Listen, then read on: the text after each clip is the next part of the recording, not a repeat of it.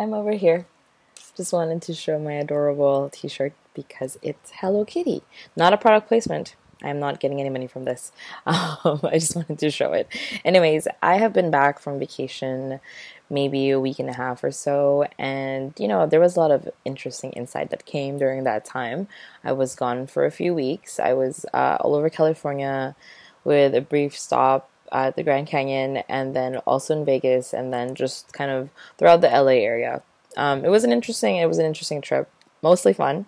Um, something that became ever present in my experience because we ate out a lot. I was with family and we visited relatives and friends, and if we didn't eat at their place, we ate out. So there was a lot of eating, uh, which, to be honest, I mean, I know really count my blessings, sure, but it's also exhausting to eat so much. Um, it's just funny. But, anyways, uh, something that came up for me was this idea that you know people tell you you're on vacation you should just enjoy actually that came up plenty of times those specific words you're on vacation you should just enjoy um, in terms of eating a lot uh, and eating maybe things that you don't normally would eat or you should have bigger portions or you should not feel so bad for eating so much um, and it was being aware of how I felt about that, it was really interesting for me to observe and, and be actively, you know, a part of because I'm the one doing all the eating as well. Um, because I almost equated it to, let's say, if I blew off like five grand on an item and I could say, oh, I'm on vacation, it's all good, like I'll justify it, right? And I f- kind of felt that way with all the food and all the eating. And because I don't really go to buffets very much, um, I'm kind of surprised that I can eat a buffet now because, you know, even just last year, I would probably be like feel gross at the thought of it because I can't really eat that much anymore. And I was, as I tell my friends, and I, was, I remind them, you know, the bigger your body, almost it's like the more you can accommodate. And if you're smaller, like your stomach is literally smaller, unless those ones with like hollow legs. And funny enough, my old coworkers used to say I had hollow legs, but um, you can train your stomach to to you know, uh, accommodate less or accommodate more. And I, I now can eat a little bit more than I used to be able to eat, but before it's almost like I would sniff my food and I would feel full because I had no space for them in my stomach. But yeah, on vacation, we ate at a lot of places. We had a lot of rice because my dad loves his rice and he really needed that. I was like his safety blanket. Um, and it was kind of gross you know, to be honest. And so I worked out a lot in the mornings and I was pretty proud of myself because I don't even think I work out that hard or that much when I'm at home. I worked out almost every day and we were at three different hotels at the locations that we were at. Um, so we were there for five days each. And whenever I was at the hotel, I worked out most of the time. I would say like 90% of the time I worked out in the morning before I started my day.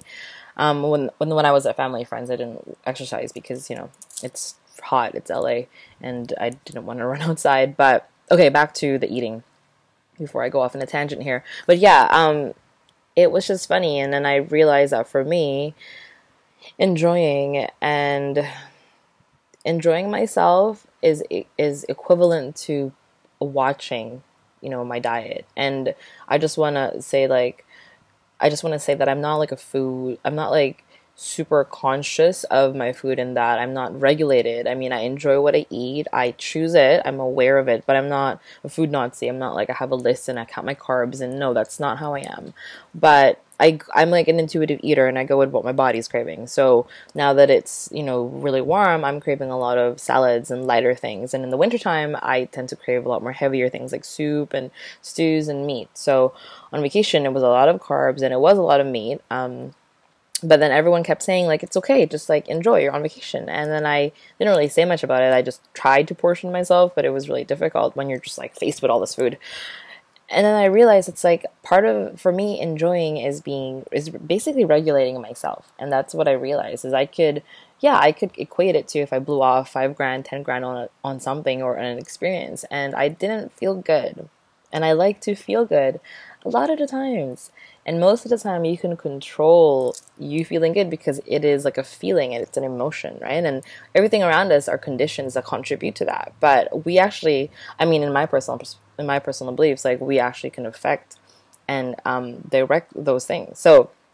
the gems for me in that trip was to not feel like peer pressure that I have to conform to family and friends and because I'm on vacation and this is what everyone is and you know I'm not even talking about how thankful I, I am of of or of those experiences or of those people and all the abundance of food and deliciousness that we had. But just for myself you know having the autonomy to control um, my diet and um, being flexible that I can eat most things but that if I don't want to eat something that I shouldn't feel that I have to.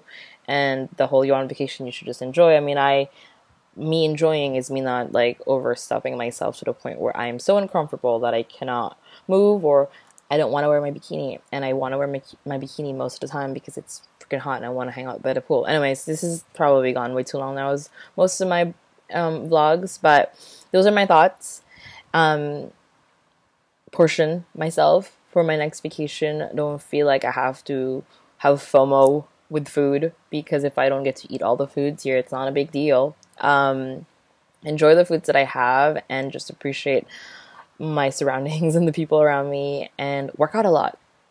That's basically what I have to do now. Anyways, that's it.